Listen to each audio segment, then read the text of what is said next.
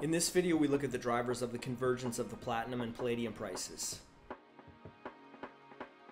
Canadian Mining Report is not a financial advisor. This video is for informational purposes only and does not constitute investment advice.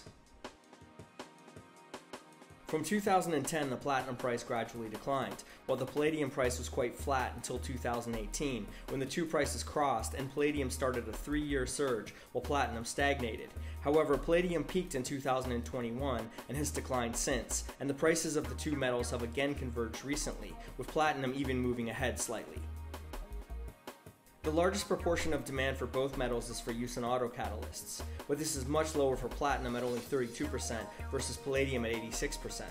As the auto industry can substitute between the two metals, low palladium prices from 2010 to 2018 led to a substitution towards it, and the jump in prices from 2019 to 2021 a substitution back towards platinum. Substitution will tend to affect palladium more than platinum given its much less diversified demand.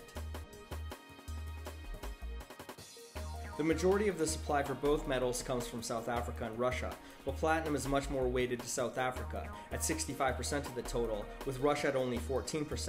And for palladium, South Africa is 31% of the total and Russia 44%. Concerns over potential constraints to Russian supply after the country's invasion of Ukraine was a major factor keeping palladium prices high in 2022, but the price declined as actual interruptions to supply were limited.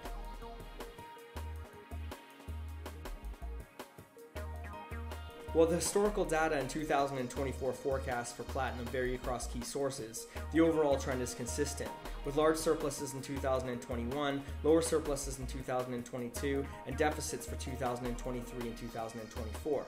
The World Platinum Investment Council estimates the largest deficit in 2023, but also the largest contraction in 2024. Heraeus estimates the smallest deficit in 2023 and expects it to remain flat in 2024, while Johnson Matthey has a deficit in between the other two sources and expects it to widen in 2024. And they all imply different outlooks for the platinum price this year.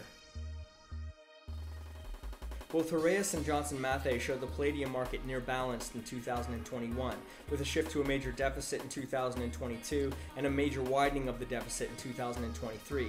Only Johnson Matthey has released a 2024 forecast, which indicates a considerable contraction in the deficit in 2024, which could be expected to be supportive of the palladium price.